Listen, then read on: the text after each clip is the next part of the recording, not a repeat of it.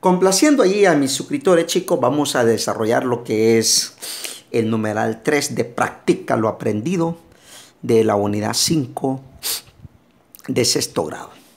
Empecemos con el literal A. Dice, completa la tabla con los posibles valores que puede tomar la base y la altura de un paralelogramo.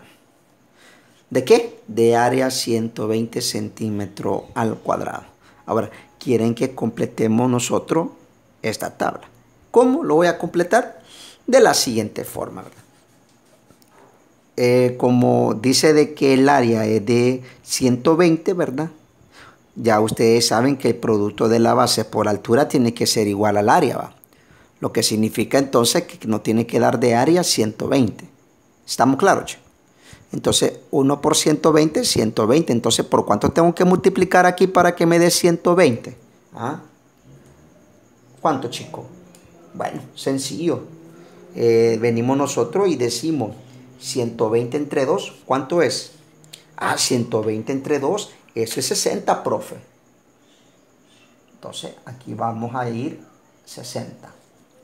Ahora, el siguiente, ¿por cuánto tengo que multiplicar para que me dé 120? Bueno, a 120 divídalo entre 3, ¿cuánto le va a dar? 40, ¿verdad? 3 por 40 es 120. Así de fácil. El siguiente. Dividamos 120 entre 4. ¿Que sería cuánto? 30. O sea que 4 por 30 es 120, lo que representa el área del paralelogramo, ¿verdad? Y por último, ¿verdad? A 120 dividámoslo entre 5, chicos, ¿cuánto es? Eso es 24.